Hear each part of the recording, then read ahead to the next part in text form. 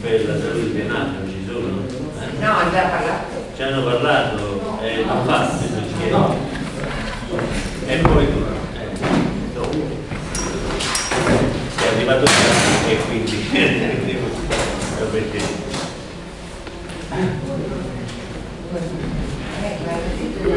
Prima, prima Venaro, poi passo. Questo viene Già le slide. C'è la slide sì, che abbiamo caricato prima.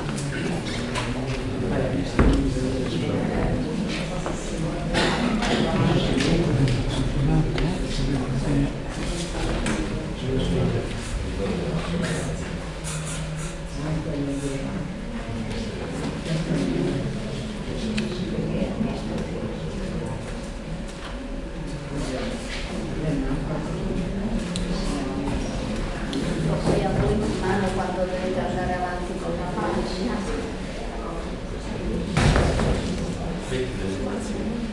Sì, eh, scusi un attimo perché qui è successo...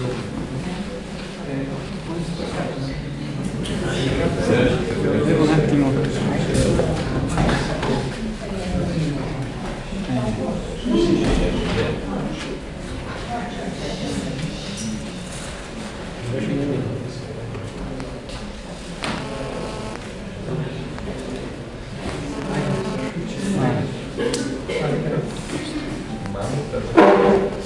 Allora, eh, buonasera a tutti, sono Maria Antonietta Renato, Presidente della... Dai, Ah, un po' di luce. Allora, buonasera a tutti, sono Maria Antonietta Di Nardo, Presidente dell'Associazione Mamme per la Salute e l'Ambiente Onus di Venato. A nome di tutta l'associazione voglio ringraziare innanzitutto l'organizzazione per averci dato l'opportunità di testimoniare la nostra esperienza. E ringraziamo eh, Medicina Democratica che ci ha sempre aiutato e in particolar modo voglio mm, ringraziare il dottor Marco Caldiroli per averci sempre supportato e anche sopportato, in quanto spesso abbiamo, di solito abbiamo tante richieste urgenti e lui ci ha sempre dato una mano. Ok, potete andare avanti. Sì, scusate. Allora, eh, Venato è una cittadina eh, del Moise, non so se tutti la conoscete, questa è l'immagine tipica della nostra cittadina. Andare avanti?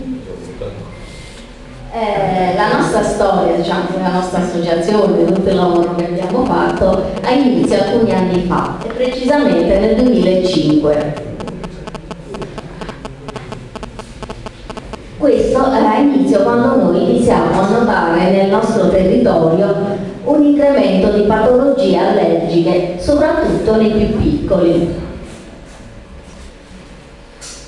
Informandoci venivamo poi a conoscenza di studi nazionali ed internazionali che attestavano una forte incidenza di gravi patologie nei territori interessati dalla presenza di impianti altamente impattanti, quali gli inceneritori e i cementifici. La nostra, una terra inizialmente bellissima e incontaminata, posta però ora alla mercé di una pseudo-industrializzazione che non ha portato alcun incremento nei posti di lavoro, però ha, impatta- ha impattato fortemente sul nostro ambiente. Siamo partite dalla constatazione di dati oggettivi presenti sul nostro territorio, tra i quali l'aumento di patologie e la presenza delle varie fonti inquinanti, elementi che ci hanno fatto pensare a una correlazione tra queste patologie e tutti gli impianti che sono l'inquinamento prodotto da questi impianti sul nostro territorio. Approfondendo meglio le ricerche su questi temi, si è compreso subito che il problema che c'è è, è molto difficile da affrontare ed anche pericoloso, perché non è un problema di facile ed immediata soluzione, soprattutto per semplici mamme come noi. Avevamo capito che contrastare l'inquinamento atmosferico prodotto dalle industrie si scontra con tutti i grandi poteri forti e poteri che sono economici, che sono molto forti. Pertanto è necessario tanto coraggio e tanta determinazione per affrontare e bisogna diciamo, mh, eh, valutare la problematica ed analizzare bene quali sono questi dati che vanno a impattare su questo territorio. Dalla politica regionale, ma anche da quella nazionale, mh, ci siamo accorti che questa politica favorisce queste attività. All'inizio forse si erano completamente ignari di tutti i risvolti sanitari che si sarebbero avuti sulla popolazione, ma soprattutto notiamo che il principio di precauzione è stato assolutamente inatteso e anche la prevenzione primaria. A questo punto eh, dovevamo fare qualcosa, o ignorare il problema o in qualche modo affrontarlo con determinazione. Abbiamo deciso di affrontare questo problema iniziando a chiedere l'aiuto ad associazioni ed esperti che già da anni si dibattevano e lottavano eh, su queste problematiche. Abbiamo conosciuto in questo cammino persone forti e preparate, intellettualmente oneste, che ci hanno incoraggiate e, so e sostenute nel proseguire questo nostro cammino e questo nostro lavoro per raggiungere gli obiettivi che ci siamo preposte. Nel dicembre 2010, eh, per continuare meglio il lavoro che abbiamo iniziato, abbiamo deciso di, di costituirci in un'associazione Onlus. Durante questi anni abbiamo superato ostacoli piccoli e, e grandi e tra gli altri anche una denuncia penale per diffamazione a mezzo stampa. La, per la perseveranza però ci ha premiato. Eh, oggi nel territorio dove vediamo eh, il problema dell'inquinamento è sentito da tutti, dopo tutto il tempo che abbiamo speso a far capire questo problema, abbiamo visto che adesso molti eh, sono pronti diciamo, a dare il loro contributo attivo e in una valle, che noi siamo circa 20.000 abitanti, nel 14 gennaio del 2017 sono riusciti a, a scendere in piazza ben 5.000 persone. Il processo di ricerca e informazione è durato diversi anni per l'ostruzionismo degli enti e della politica. Però possiamo dire che dagli inizi fino ad oggi è stato fatto molto lavoro, abbiamo raccolto doc dati documentati della poca attenzione per la, salute, la, per la tutela della salute pubblica dei cittadini e fatto um, analizzare anche molte matrici alimentari, tra cui anche il latte materno di una mamma e i risultati non ci fanno assolutamente stare tranquilli. Abbiamo presentato anche denuncia alla comunità europea per il merito alla mancanza di aria nell'inceneritore Nergonat, oggi era ambiente, e presentato esposti alla Procura di Sede, abbiamo impugnato anche il piano rifiuti e partecipato ai procedimenti aria dell'inceneritore ambiente del, del, ambiente e del cementificio Colacer che sono diciamo, i due elementi più impattanti che sono presenti nel nostro territorio. E questo lavoro eh, dobbiamo dire ancora una volta grazie al grande aiuto che ci ha dato Medicina Democratica eh, per diffondere meglio il nostro lavoro nel 2011 abbiamo aperto il nostro sito web mammesaluteambiente.it e questo è fondamentale perché la nostra voce possa essere libera e non strumentalizzabile. Oltre alle attività necessarie per far capire tutte le criticità ambientali e contrastarle dove possibile, con denunce, esposte, osservazioni, abbiamo pensato anche di affrontare il problema con ottiche diverse un- cercando diciamo, di, mo- di- di- di utilizzare mm, ogni forma di informazione per far capire e denunciare il problema. Tra questi, da tutte le cose che abbiamo fatto, in particolare c'è la, eh, la stesura di questo piccolo libricino favoletta che si intitola Un mondo da salvare. Questo è stato disegnato dai bambini delle scuole di Venafro e di Sesto Campano e il lavoro poi è, portato, è stato portato avanti anche alle associazioni aderenti a una campagna in difesa del latte materno. Abbiamo eh, organizzato vari incontri, eh, tra cui quello con padre Alex Zantelli, e questo è stato organizzato qualche anno fa presso il liceo di Venafro. Abbiamo fatto un incontro sull'inquinamento e latte materno con la dottoressa eh, Patrizia Gentilini dell'ISDE, i Medici per l'Ambiente, e anche su ambiente, salute, economia e correlazioni con il convegno patrocinato da sei comuni, dai sei comuni della Valle e dalla provincia dei, dei medici e dal- eh, dalla provincia di Isernia e dall'ordine dei medici, della, sempre della provincia di Isernia. Anche un altro convegno è stato fatto sui conflitti ambientali presenti sul nostro territorio e sul perché abbiamo impugnato il piano rifiuti e questo con Di Pietri e l'avvocato Carmela Oriemma. Abbiamo realizzato eh, con de- degli abiti, con del materiale di rifiuto e le ragazze della nostra associazione hanno indossato presentandoli a Terra Futura a Firenze sono state diciamo, testimonial eh, della campagna nazionale di difesa del latte materno dai contaminanti ambientali e mh, una loro maxi foto è stata proiettata al summit, al summit della Terra a Rio de Janeiro. Abbiamo pensato anche di essere presenti nelle scuole con un progetto sulla raccolta differenziata. I bambini hanno preparato dei lavoretti eh, utilizzando dei materiali che sarebbero stati buttati.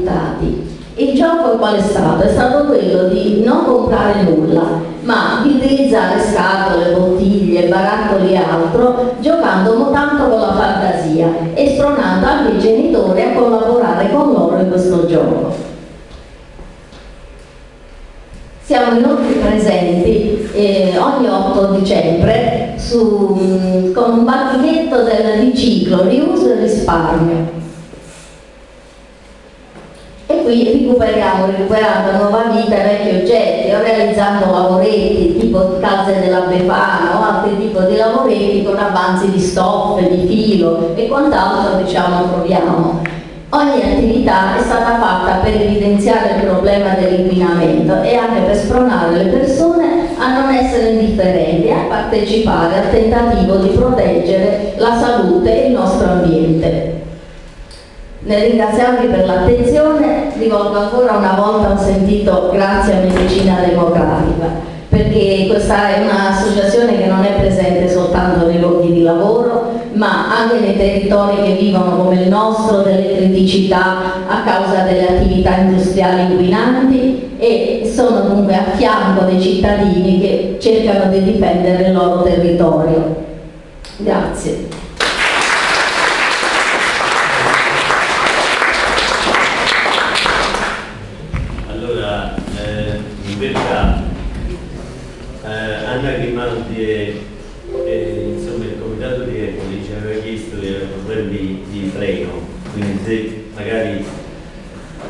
Variamo un po' l'ordine, se possono intervenire loro e poi a seguire Novas, Columbis, eh, Ragione, Marcello Sica e così via.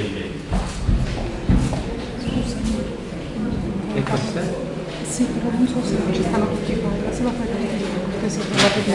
Sì, un attimo perché qui abbiamo un problema.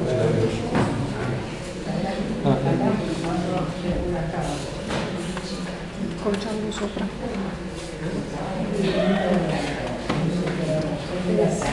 Una volta che l'hai fatto partire, se a lui lo, lo batte sulla però non era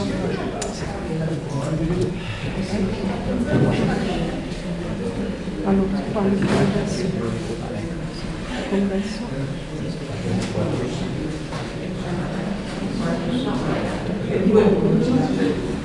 Ecco qua.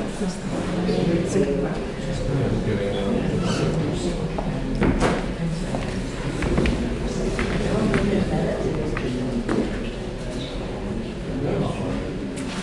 Se la fai partire con presentazione.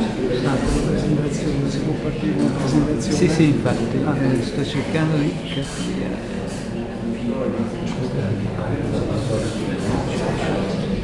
Buonasera, eh, io parlo a nome di questo piccolo gruppo di cittadini che si è organizzato a Empoli eh, contro l'amianto, quindi eh, porto mh, questa piccola testimonianza. Noi ci interessiamo di amianto non come siti di lavorazione del- questo prodotto, ma eh, per eh, il cemento amianto presente sui tetti dei condomini, sui palazzi e sulle coperture dei capannoni sia agricoli che industriali. E abbiamo cominciato, abbiamo, po', così. abbiamo cominciato a interessarci di questo problema perché proprio al centro della nostra città rappresenta una grossa mole di eh, materiale di eh, cemento amianto di Eternit su una fabbrica in disuso che era proprio al centro della città e dove c'erano eh, i vigili urbani e eh, ci stanno ancora oggi i vigili urbani in questa ex fabbrica e eh, dove c'era nel piazzale c'erano i pulmini, eh, gli scuolabus parcheggiati. Oltre ai, agli ex lavoratori di questa fabbrica che sono morti per patologie spesso correlate, sono morti, si sono ammalati di patologie tumorali. Adriano, scusa, se vai avanti.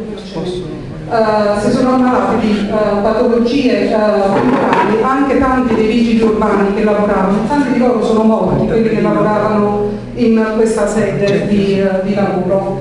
Noi eravamo preoccupati, perciò abbiamo cominciato a occuparci di amianto. Eh, eravamo preoccupati di questo e ci siamo rivolti ad ASL e Comune. Eh, non ci hanno dato molto ascolto, molta retta, eh, perché secondo loro non c'erano tantissimi, tanti morti eh, di mesotelioma. Dice sì, sono morti di tumore, ma non di mesotelioma. Noi invece eravamo preoccupati e dicevamo che il principio di precau- precauzione questo materiale andrebbe tolto in ogni caso. E poi eravamo preoccupati perché, come ci spiegavano gli amici di medicina democratica, eh, i cancerogeni tra loro hanno un effetto sempre sinergico, moltiplicativo, per cui dicevamo se queste persone sono morte di tante, di, tanti di loro, una percentuale altissima di vigili urbani sono morti per patologie tumorali, sicuramente queste fibre di amianto presenti nel posto di lavoro dove loro stavano tante ore al giorno eh, possono aver provocato tumori in altre sedi che non siano i polmoni, oppure hanno potuto potenziare altri eh, cancerogeni che potevano essere presenti in quel luogo o altre cause e quindi da, eh, fungendo da potenziatore. Ed eravamo convinti che andasse tolto questo materiale.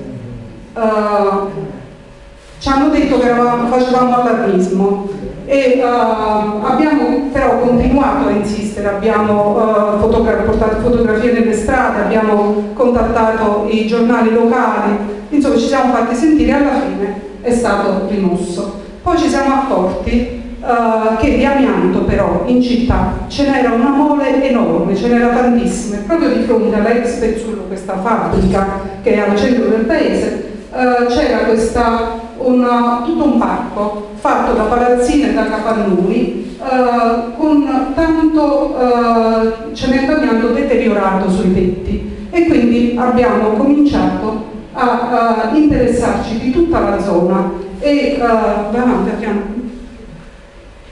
ecco qua i particolari e ehm, siamo- abbiamo visto che già nel 1991 in altri posti d'Italia, a Milano, questo è una- uno studio pubblicato su una rivista di medicina del lavoro, ehm, diceva già nel 1991 che c'era questo studio che dimostrava che fenomeni corrosivi eh, iniziano dopo pochi mesi dall'installazione di questo materiale, sono evidenti dopo alcuni anni e sono imponenti tra i 5 e i 10 anni. Allora ci chiedevamo com'è possibile che i tetti che sono presenti in città da noi, perché il problema non è di Empoli ovviamente, il problema che c'è su tutto il territorio nazionale e ad Empoli come su tutto il territorio nazionale nessuna istituzione fa rispettare le leggi che pure esistono e che dicono che l'amianto va monitorato e va rimosso nel momento in cui diventa pericoloso. E ehm, quindi noi dicevamo com'è possibile se questi studi già nel 91 dicevano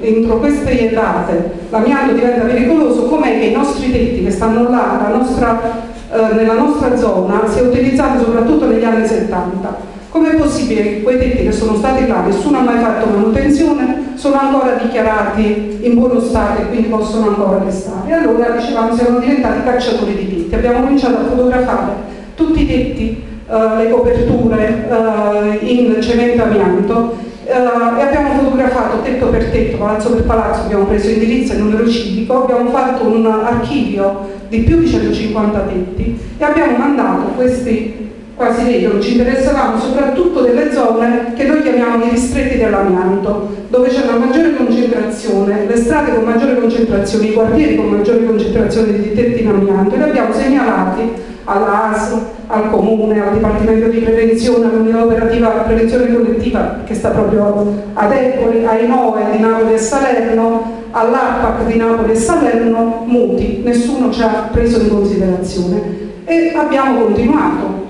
a fare questo lavoro di documentazione. Ecco qua, sono i posti uh, con la presenza maggiore di amianto. L'abbiamo fatto sia al centro della città, sia nelle periferie uh, dove sono presenti questo non è lontano, uh, tutte queste la maggior parte di queste foto, le prime foto che abbiamo fatto erano tutte intorno a questa vecchia fabbrica abbandonata, quindi di amianto ce n'era proprio tanto. E qua c'era un parco giochi proprio vicino ad altri capannoni uh, ricoperti di amianto in queste condizioni. E questa è una zona vicino allo stadio dove la gente va a fare footing, dove corre, tanta gente, sia di mattina che di sera va a correre, respira tutto quello che c'è qua. Abbiamo fatto, quindi dicevamo, un elenco palazzo per palazzo con indirizzo e numero civico, e, uh, però il problema era sottovalutato e, uh, non, perché si diceva no, non ci sono tanti casi di mesotelioma, nonostante proprio il Ministero della Salute con il Piano Nazionale Amianto pubblicato nel 2013 eh, ponesse già l'attenzione sul fatto che le, la localizzazione di vari tumori congelati all'amianto, legati all'amianto, fossero anche altre, non solo i polmoni, eh, il colon, la laringe, il peritoneo, l'ovario, quindi erano tante. E noi, e da questo già si capiva che quindi la fonte primaria di, uh, uh, di introduzione all'interno del corpo dell'amianto non fosse solo quella dell'apparato respiratorio, ma anche quello per ingestione. E cosa confermata anche dallo IARC e tanti oggi oncologi e patologi ambientali ci parlano del fatto che anche l'ingestione è pericolosa e la localizzazione in altri organi è proprio dovuta all'ingestione. Tant'è vero che proprio su, uh, sul salvagente di questo mese c'è un articolo che dice quei rischi sottovalutati dell'amianto nascosto nelle tubature italiane. Quindi pone l'attenzione, l'accento anche sull'ingestione e riporta lo studio fatto dall'Università di Bologna uh, dove parla proprio di altre localizzazioni diverse dai polmoni. Quindi a questo punto noi abbiamo pensato, ma se è importante anche l'ingestione, i capannoni che noi abbiamo individuato nelle zone dove si fanno coltivazioni, eh, dobbiamo, devono preoccuparci ancora di più oltre che i tetti. E eh, per esempio abbiamo cominciato a lavorare su eh, un pollaio che tiene sette enormi capannoni, tutti in amianto, in Eternit. Dentro ci stanno porcine e galline allevate che quasi producono uova e oltre a questo anche, ecco qua, il pollaio con tutti i capannoni sono enormi quei capannoni che stanno in fondo.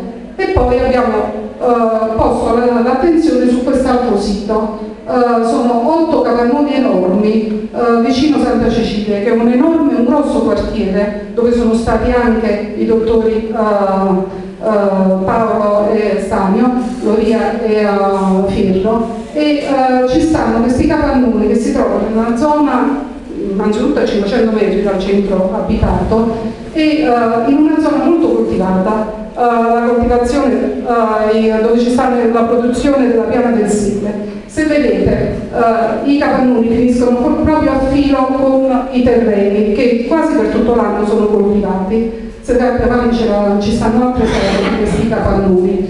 Noi su questo abbiamo lavorato molto fin dal 2013, stiamo ancora lavorando perché Uh, questo bene, questa proprietà, dove ci sono, uh, innanzitutto vicino al centro abitato, ma perché ci ha attirato l'attenzione? Perché si coltiva proprio a filo, guardate i carciofi, a filo con i capannoni ricoperti di Eternit che sono completamente in disfacimento, polverizzati e questa è una zona, la piana del sele, molto battuta dal vento.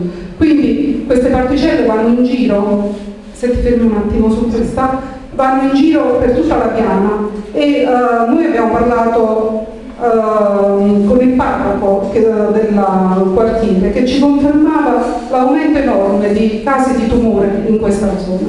Quindi ci ha molto molto preoccupato e abbiamo lavorato, abbiamo, siamo arrivati fino anche a dover denunciare uh, a gennaio 2017 per reato ambientale Uh, il comune e uh, l'agenzia per i beni confiscati alla Camurra perché questo uh, terreno è di proprietà è in, in, uso all'agenzia per i beni confiscati alla Camurra e si tratta di 15.000 metri quadri di Eternit polverizzati per cui ci preoccupa molto. Finalmente um, l'anno scorso, a marzo, è stata finanziata la progettazione per la rimozione uh, e la bonifica del sito. E uh, il Comune e l'AIN del BSC hanno uh, pubblicato articoli, hanno fatto pubblicare articoli sui giornali dove hanno detto che avevano trovato 500.000 euro per finanziare la bonifica è passato un anno, adesso tutto è fermo perché pare che la prefettura debba dare il parere,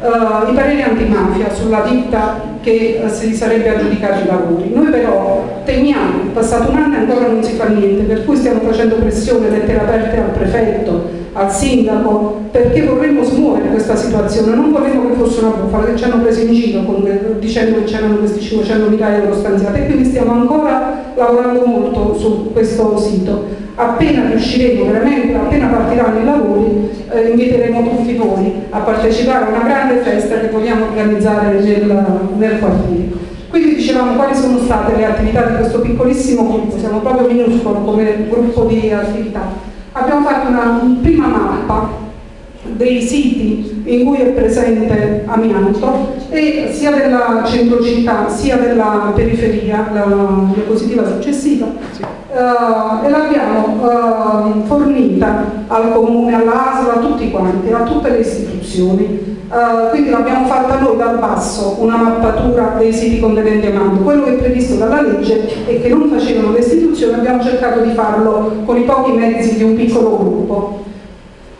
Quindi abbiamo fatto incontri nei quartieri, abbiamo cercato di parlare, di spiegare ai cittadini i rischi che correvano, abbiamo eh, cercato di eh, denunciare eh, la, eh, sul fatto che le istituzioni che pure avrebbero potuto applicare quelle norme per la bonifica non facevano niente. Nel 2013 abbiamo fatto un uh, convegno dove uh, avete visto prima c'erano sia uh, Paolo Castanio di Medicina Democratica che sono venuti uh, al convegno, sono stati presenti, ci hanno sostenuto e ci hanno aiutato molto in questa battaglia e sono venuti anche a fare il sopralluogo in quella giornata uggiosa dove si vedeva la pioggia più che loro uh, per darci una mano e abbiamo fatto dei filmati con loro in modo da poter far avere la testimonianza persone che fossero riconosciute, medici di medicina democratica e anche altre persone ci hanno aiutato con questi filmati distribuiti su YouTube per uh, sostenere questa battaglia e far capire qual era il problema. Visto che mai non riuscivamo a smuovere in nessun modo le acque, ci siamo inventati tutte le altre forme di pressione che potevamo inventarci. Abbiamo fatto interventi in consiglio comunale, abbiamo fatto appelli agli amministratori uh, erano invertite le, le slide, sì. abbiamo utilizzato i social, tutti i social che potevamo utilizzare, da YouTube a Whatsapp alle email ai giornali, abbiamo utilizzato tutto quello che potevamo utilizzare per far sapere quali erano le nostre attività. Abbiamo cercato di dare informazioni sugli sgravi fiscali, sia statali che comunali, Uh, per i lavori di bonifica. Abbiamo dato informazioni sui contributi stanziati nel 2016 dall'INAIL che erano pari al ben, al 65% della spesa che le aziende agricole avrebbero sostenute per bonificare da amianto uh, le loro proprietà. E visto che non uh, succede... Scusa, puoi tornare un indietro, visto che non riuscivamo a convincere, abbiamo fatto delle campagne, soprattutto sull'agriovo, sulle aziende agricole. Uh, noi compriamo le tue uova, tu rimuovi l'amianto. Nemmeno con questo siamo riusciti ad ottenere risultati sulla, né l'intervento del comune, né dell'ASL, né dei giudici, perché noi abbiamo fatto varie denunce uh, al Tribunale di Salerno. E quindi abbiamo continuato, abbiamo fatto queste campagne, vai avanti, abbiamo, uh, abbiamo fatto appelli agli amministratori di condominio, perché la legge adesso prevede che siano loro responsabili Uh, per questo possono essere loro denunciati, poi vi dirò che sono stati denunciati. E abbiamo fatto volantinaggio quartiere per quartiere, strada per strada, palazzo per palazzo, in tutte le buche di ogni palazzo per informare dei rischi. Appelli agli amministratori di condominio e ai consiglieri comunali, le interviste di cui parlavo prima, eh, sia a, a, Medicina Democratica che al parroco del quartiere Santa Cecilia, questo quartiere dove c'era il Zapov, e abbiamo eh, cercato di contattare anche l'ordine dei chimici e dei biologi, perché il problema poi dove sta? Anche se abbiamo messo in moto delle cose, il problema sta sui tecnici, i tecnici che rilasciano certificazioni facili, che semplicemente danno un pezzo di carta in, eh, con cui i proprietari e gli amministratori di condominio possono vivere, anche se questi tempi sono stati là 40 anni alle intemperie e nessuno si è mai curato di fare una manutenzione, stanno bene, è tutto a posto e quindi possono restare là ancora oltre 40 anni. Fino a che, visto che non riuscivamo a ottenere niente, abbiamo fatto una provocazione. Mamma mia, quanti detti in cemento amianto. Questo su YouTube. Apollo 11, via Stati Uniti d'America, via Leonardo da Vinci. Ma le avete segnalate al comune? Eh sì, le abbiamo segnalati con gli amici del comitato, togliamoci la merda dalla testa, ma eh, ad una ad una in verità, con foto, indirizzo, abbiamo cercato di eh, segnalarli tutti, possibilmente, specialmente io, che io a pochissima distanza ovviamente. Guarda quelli come sono malconci, rotture, muschi, completamente usurati, di sicuro non sono stati mai trattati. Non avete paura che possa essere un rischio per la salute? Assolutamente abbiamo paura ed è per questo siamo attivati, perché appunto sappiamo che proprio quando sono rotti con muschio e hanno lesioni visibili come questi, eh, sono pericolose da togliere e li abbiamo per questo segnalati. E non avete pensato di chiedere per iscritto al comune di conoscere lo stato di questi tetti? Soprattutto di questo. Appunto, come dicevo, con altri del quartiere abbiamo firmato e abbiamo proprio chiesto per iscritto al comune. Chi ha risposto? Ha risposto che i proprietari hanno eh, mandato a perizia fatta da un tecnico, proprio anche su questo tetto qui presente, a pochi metri dal mio balcone. E chi ha detto questo tecnico? Tutto a posto, tutto a posto, non tutto a posto a me e a te. Siete avanti così? Allora, filmati di tipo, ne abbiamo fatto più di uno in varie zone, hanno smosso le acque, hanno uh, messo in ridicolo questo tecnico e siamo riusciti in qualche modo a ottenere qualcosa. Uh, che cosa abbiamo ottenuto? L'abbiamo ottenuto anche grazie alla collaborazione di uno di noi che si è fatto il corso di ispettore ambientale come ispettore ambientale volontario dà una mano all'ufficio ambiente del comune. Uh, siamo riusciti a far attivare uno sportello amianto del comune che è anche in linea, è ovvio, è solo in embrione, però almeno siamo riusciti, da quasi può partire i cittadini possono ancora spingere per migliorare questo servizio. Uh, lo sportello amianto in linea ha messo la mappatura del, uh, sul, proprio sul sito del comune, la mappatura degli immobili già verificati dove c'è amianto, ha messo in linea le ordinanze di bonifica da effettuare e quelle dove invece c'è la valutazione tecnica. Se vai avanti abbiamo. Dici che basta, Pure questa la mappatura. basta toccare il palloncino Ah, per avere le informazioni. si vede dov'è la strada e se c'è o non c'è l'ordinanza. Anche questa dovrebbe essere aggiornata, non è aggiornata eh, nor- normalmente, però è un punto di partenza.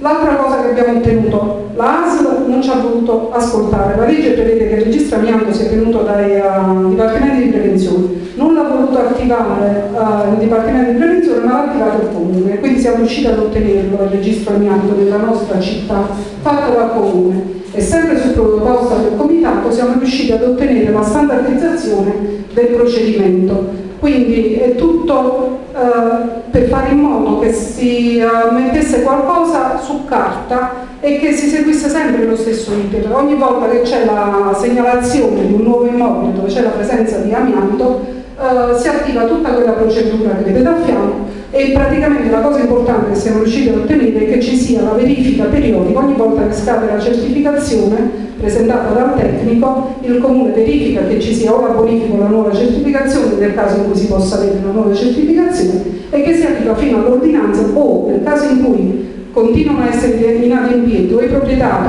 o gli amministratori di condominio si eh, manda la segnalazione all'autorità giudiziaria, quindi vengono denunciati penalmente che siamo riusciti ad ottenere. Quindi oltre alla bonifica di questa ex Pezzullo che sta al centro della città e di questo avvio del procedimento per la ex Apof a Santa Cecilia, sono stati rimossi negli ultimi uh, due anni uh, circa 40 tetti, altri sono in via di, uh, di, essere definiti bonificati perché si aspetta fino a che non tornano i, formulari che ci dicono che l'amianto è stato smaltito correttamente in il cielo è sempre più blu.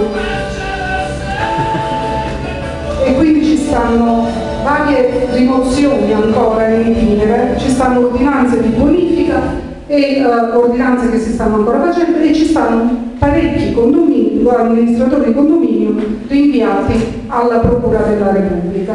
Questi sono un po' di esempi di tetti rimossi come erano prima e come uh, sono adesso Anche il comune teneva tutti i pluviali in, uh, in Eternit e sono stati, uh, è stato purificato il comune, altri tetti, quindi siamo arrivati ad oltre 40. Se vai avanti. Ancora.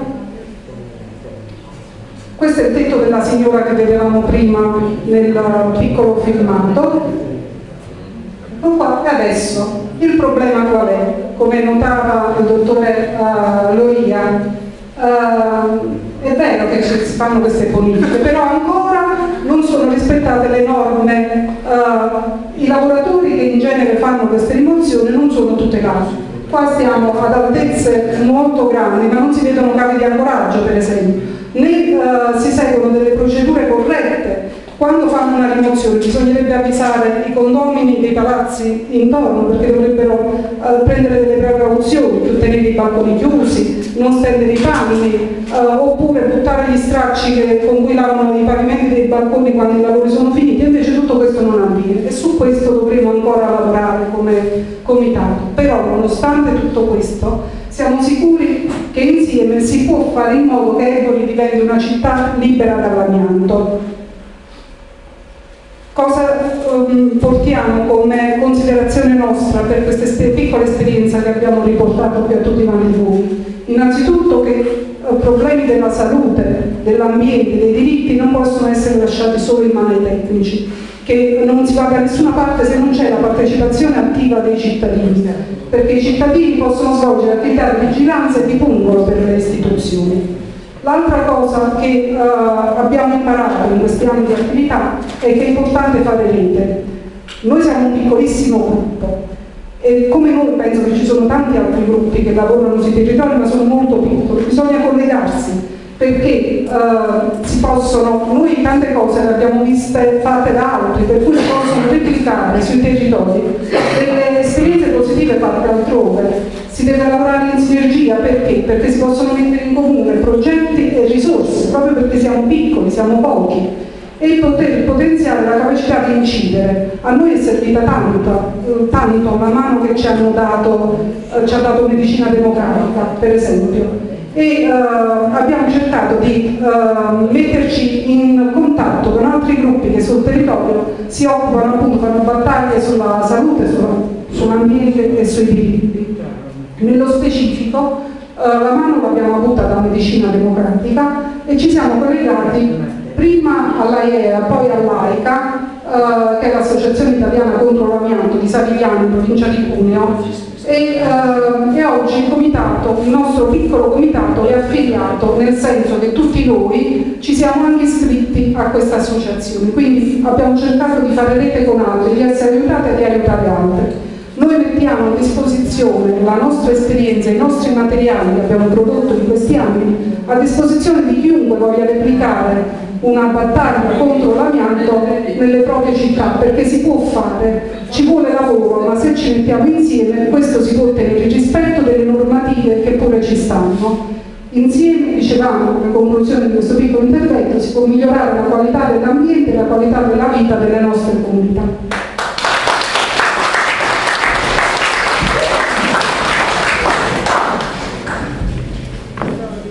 Eh, vabbè, adesso ci sarebbe, non lo so, mamme non fa, qua c'è una prevalenza femminile spaventosa. Siamo proprio c'è una stragrande allora, è molto evidente che le donne sono delle, delle battaglie per l'ambiente.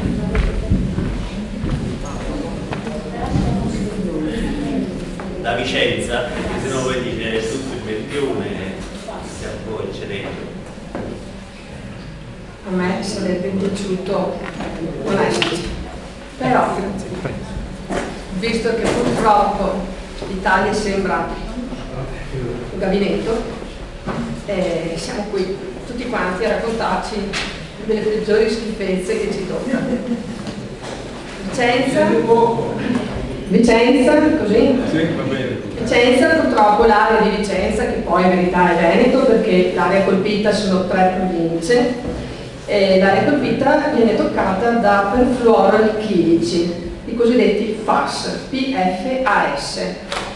I FAS sono stati prodotti da una grossa azienda chimica che fornisce i suoi prodotti a moltissimi tipi di lavorazioni chimiche di utilizzo comune e di utilizzo farmaceutico. È considerato una cosa importante.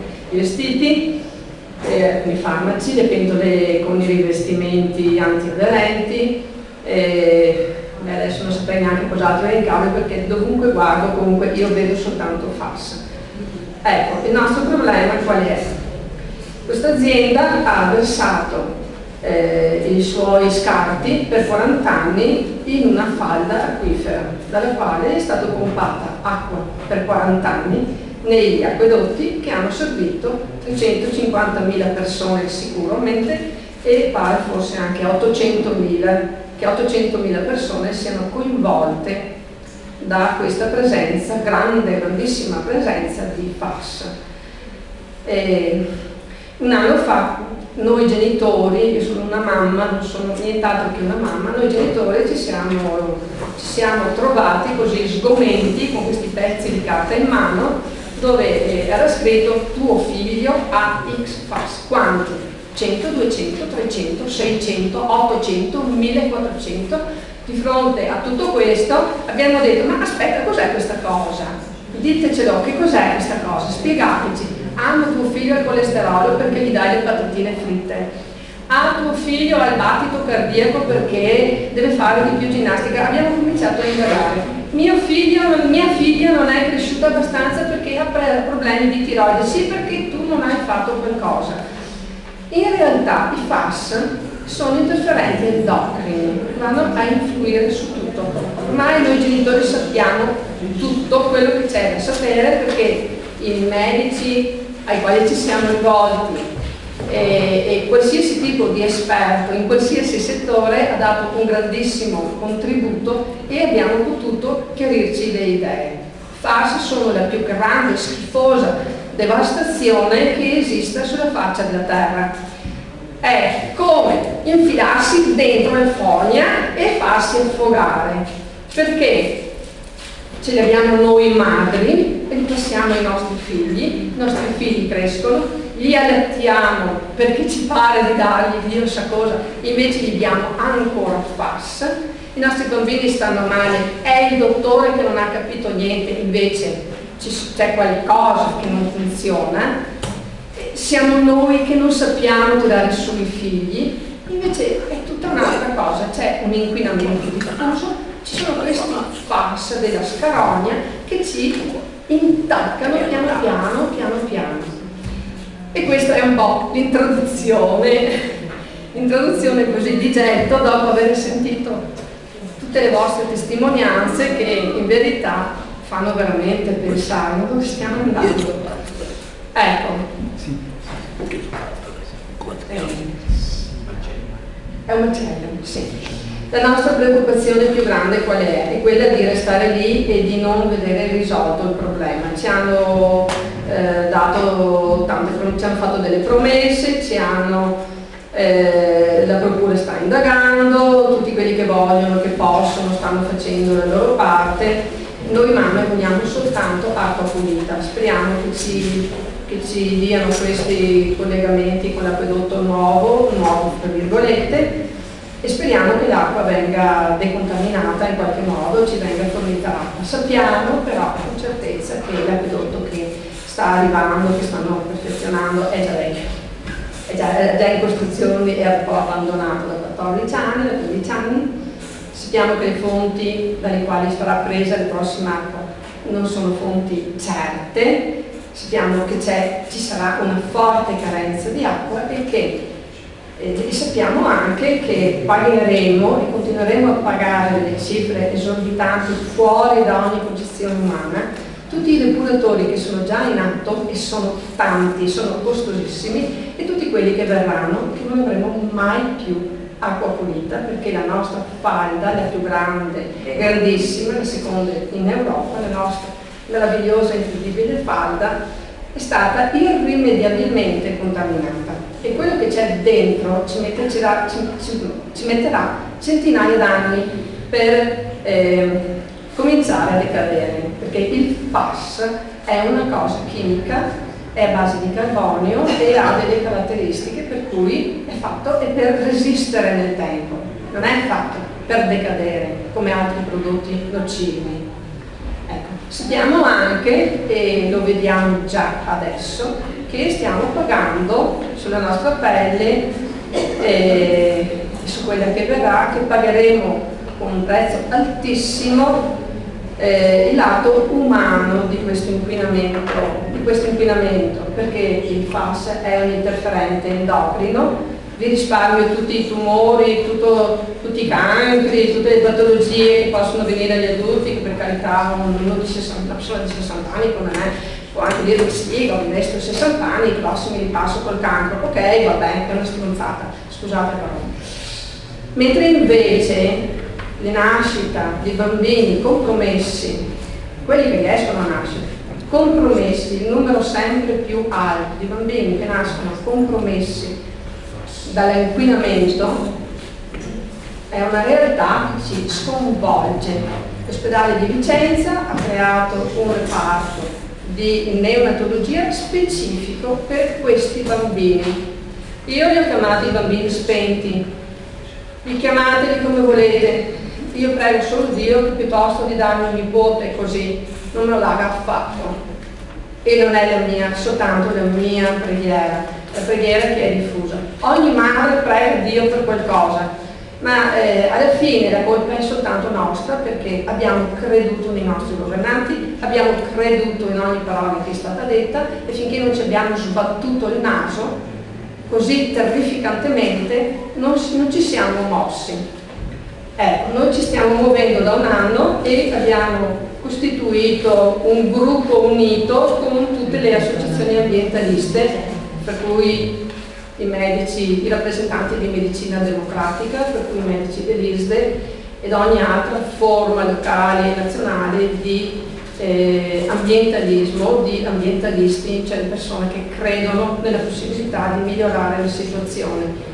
Non sono personalmente convinta che questa situazione possa risolversi brevemente perché ogni possibile ricerca e indagine è ancora in, è ancora in fase di crescita, di sviluppo. Qualcosa c'è stato in Italia. La nostra regione eh, non accetta eh, le ricerche che vengono dal resto del mondo. Il resto del mondo ha detto, ah ma guarda che quella roba lì fa male, non deve esserci.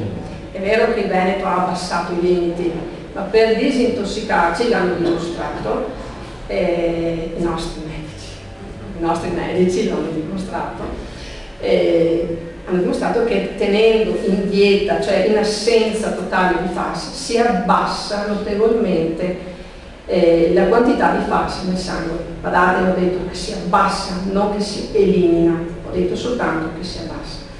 Il FAS si deposita, si deposita in ogni parte del corpo, tutti gli organi, qualsiasi cosa viene compromessa, viene intaccata, loro si fermano lì e restano, può diminuire un po' ma non vanno via. La, la prevenzione è non esporsi, quello che possiamo fare adesso come cura è non infilarle più in bocca, non permettere più che i nostri figli assorbano questo prodotto. E il problema qual è? Il problema è che viene dall'acqua, degli acquedotti, c'è nell'acqua dei fiumi, c'è nell'acqua sotterranea, c'è nel cibo, perché nel 2014, un po' così a bruciapelo, sono state fatte delle indagini dell'Istituto di Sanità Nazionale, perciò sono indagini bene, non è che possiamo andare a, a metterle in discussione, e hanno trovato su ogni cibo eh, eh, analizzato la presenza di una certa quantità di FAS. Dunque ci sono, tutto il resto sono chiacchiere. E abbiamo anche l'aria sporca. I FAS sono dovunque, non è che tu li butti dentro all'inceneritore e questi svaniscono, no, il FAS è fatto per resistere. L'inceneritore smolecolizza e poi il FAS vola, va in alto e ricade. Ci sono studi degli altri stati esteri, posso parlarvi degli studi in Olanda. In Olanda hanno anche un istituto specifico che indaga l'aria. Ok? Ecco, posso assicurarvi che il Vietnam e la Corea, che a noi ci sembrano così lontani loro, hanno dei grandissimi studi i nostri studenti, i nostri figli che fanno le loro tesi di laurea adesso su biologia, in uh, agronomia, eccetera, loro vanno a leggersi, vanno a cercare proprio sugli studi fatti all'estero, perfino negli estremi paesi, dove manco te lo sogneresti che potrebbe esserci. La Cina è avanzatissima nello studio di questo problema, tanto che la Cina, per esempio, che cosa ha fatto? Ha fatto la banca del seme Ecco, non so quanto posso andare avanti su questo argomento, però vi assicuro che è dolorosissimo per me parlarne. Io ho due figli maschi e due figlie femmine. Ora io ho quattro maschi per casa, due figli e due figli che verranno, cioè i morosi, noi li chiamiamo morosi, i morosi sono figli, sono i fidanzati delle figlie. Dunque, quando in casa hai quattro maschietti giovani, cosa fai? gli dici vai a vedere quanti FAS hai nel sangue, fatti le analisi, ma il pensiero è sempre quello. In un paese vicino al mio c'è stato l'incremento dell'80% di cancro al testicolo. È orribile pensare che un ragazzo intorno ai 20 anni, che un uomo giovane intorno ai 20 anni, che ha tutta una vita, ma cosa come i 20 anni? I figli di 20 anni, anche a 30 ma anche a 40, un uomo così giovane deve stare integro, invece purtroppo il cancro al testicolo toglie all'uomo qualsiasi speranza, un uomo non vive più, che uomo è? Cancro testicolo è devastante, noi siamo pieni di preoccupazione siamo pieni di questo problema, non soltanto abbiamo i bambini maschiettini, quelli piccoli, abbiamo i bambini maschi già intaccati da cancro al testicolo. Ci sono dei casi di bambini di tre anni che è devastante, tu lo guardi quel piccolo uomo e sai che per quanto grande diventerà, però dai, diciamocelo, non sarà mai un uomo. E questa è una cosa orribile, è la più brutta che possa esserci al mondo anche se noi adesso cerchiamo di correre dei passi, cerchiamo il cibo più pulito, cerchiamo il biologico, quello che viene da un'altra regione che però è, ci siamo detta com'è l'altra regione. Quando, cioè, ecco, adesso io mi chiedo che cosa, cosa possiamo dargli da mangiare a questi ragazzi per, per dargli loro una chance in più.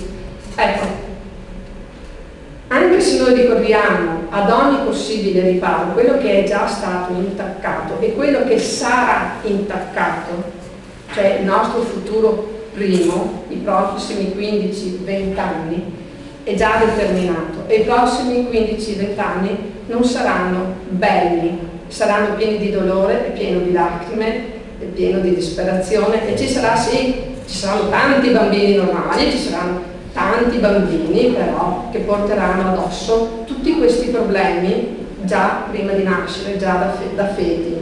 Ecco. E ci stiamo muovendo, domenica faremo una grande, una grande manifestazione tutti insieme come organizzazioni a Trissino davanti il paese di Trissino, proprio davanti alla fabbrica della maledizione, alla devastazione a questa devastazione proprio per protestare contro 40 anni di sporcizia, di silenzio, di omertà, lasciatemela chiamare mafia, perché insomma questi tipi di silenzi sono mafiosi. Basta, non vi dico altro perché penso.